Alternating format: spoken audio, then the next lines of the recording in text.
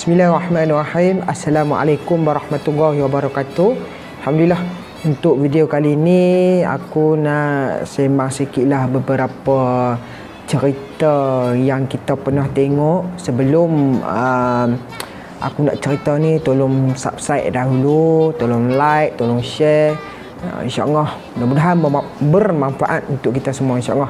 Okey, kalau kita imbau baliklah zaman-zaman kanak-kanak kita dahulu biasa tengok ada cerita Doraemon. Ha, aku nak cerita sebab Doraemon, aku nak cerita berkaitan dengan Doraemon ni lah. Uh, dalam watak Doraemon ni aku nak cerita seorang ini nama dia kalau nama penuh dia iaitu iaitu Nobita Nobi. Nobita Nobi. Okey, aku cerita latar dia dahulu ataupun latar belakang dia dahulu.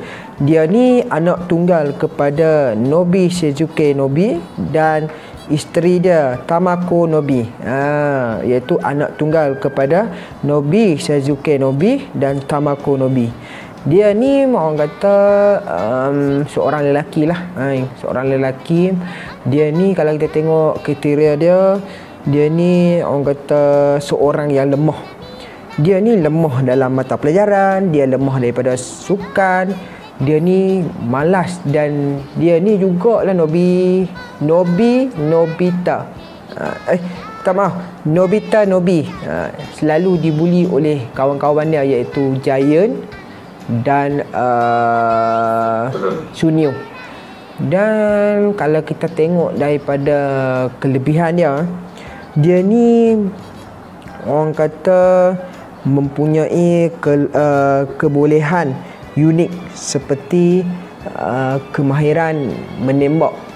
Dia ni mahir dalam uh, menembak dan uh, suka bermain apa tu uh, panggil tali tu. Uh, itu mungkin uh, permainan kanak-kanak di Jepun kot.